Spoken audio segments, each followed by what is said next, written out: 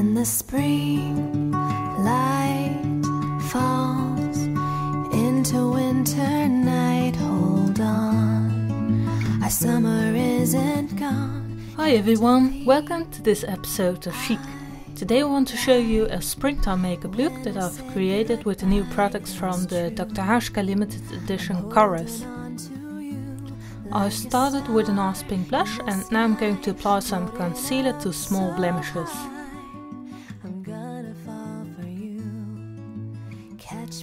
Create a healthy glow by adding some highlighter to the top of your cheekbones and cupid's bow.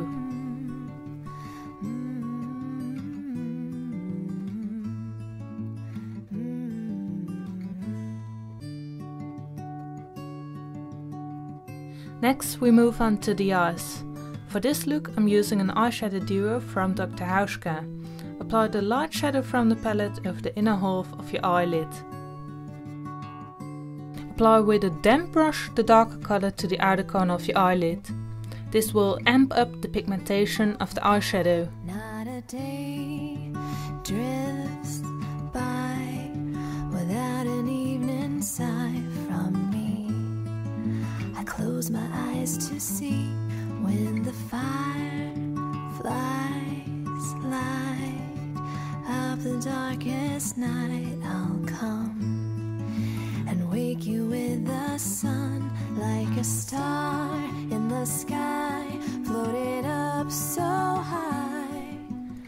Use an eye pencil to accentuate your lash line. catch me when I do, like a star in the sky, floating up so For mascara I'm using the Dr. Hauschka Volume Mascara, which I'm really loving because it has a nice thickening and lengthening effect.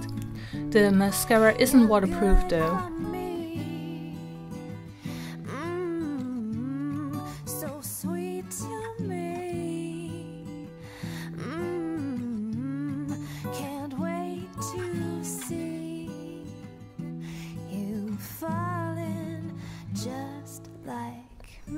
Finally apply lipstick to your lips. Like a star in the sky, floating up so high. I'm gonna fall for you. Catch me when I do. Apply gloss to the center of your lips to make them look fuller. Floating up so high. And this is the final look. I hope you enjoyed this video and don't forget to subscribe and give this video a thumbs up.